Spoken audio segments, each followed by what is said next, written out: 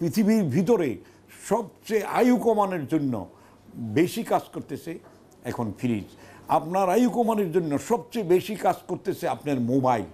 আপনার আয়ু কমানোর জন্য আপনার সবচেয়ে বেশি করতে ক্ষতি করতেছে আপনার কম্পিউটার। কথাগুলো আমার কথায় আপনি বিশ্বাস করবেন না। আপনি দয়া করে ওয়েবসাইটে যান ইমেলে যান। দেখেন, আমার প্রতিটা কথা আমি আগে প্রুভ করে তারপরে বলতেছি। এই ফ্রিজটিকে আপনি সবচেয়ে প্রিয় মনে করেন। আপনার বড় ভাই মনে করেন, আপনার ছোট বোন মনে করেন, আপনার স্ত্রী পুত্রের মতো মনে করেন, সেই একটা, দুইটা, তিনটা ফ্রিজ ঘরে কিনা রাখছেন। সবগুলো ফ্রিজই আপনার শত্রু।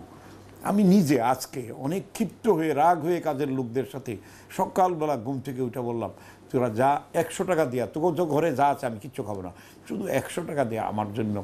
তোরা রাস্তার পাশের থেকে কিছু তরকারি কিনে আন। আন, আনার পরে ওই একশো টাকার খাবার পাক করা হলো আমি বললাম যে, আজকে তোরা এই একশো টাকার খাবার খা। হ্যাঁ বলে যে, আজকের খাবার যে এত মজা লাগতেছে? আমি তাহলে তোমাদের খাবার তো তোমরা সব ফ্রিজ থেকে বের করে খাও। তোমরা ডিম ফ্রিজে রাখো। বাজারের কথা শুধু কার্বাইড বলতেছ, বাজারে বলতেছো ফরমালিন বাজারে বলতেছো আর্সেনিক বাজারেরটা খারাপ সাপ্লাইয়ের পানি খারাপ, তোমার ফ্রিজ তো আরও বড় শয়তান। এই শয়তান ফ্রিজকে তোমরা যদি তালা দিতে না পারো তাহলে বাসার বাচ্চাদের কোল্ড অ্যালার্জি কমবে না, বাসার বাচ্চাদের সর্দি কমবে না, বাসার বাচ্চাদের জ্বর জ্বর ভাব কমবে না। অতএব আমরা আমাদেরকে চিনতে শিখতে হবে। আমাদের ঘরের শত্রু বিভীষণকে আমাদেরকে চিনতে হবে। এই বিভীষণকে যদি আমরা না চিনি, এই ফ্রিজ একটা বিভীষণ, টিভি একটা বিভীষণ, এই মোবাইল একটা বিভীষণ, এই তিন বিভীষণে আমাদের অর্ধেক আয়ু খেয়ে ফেলতেছে।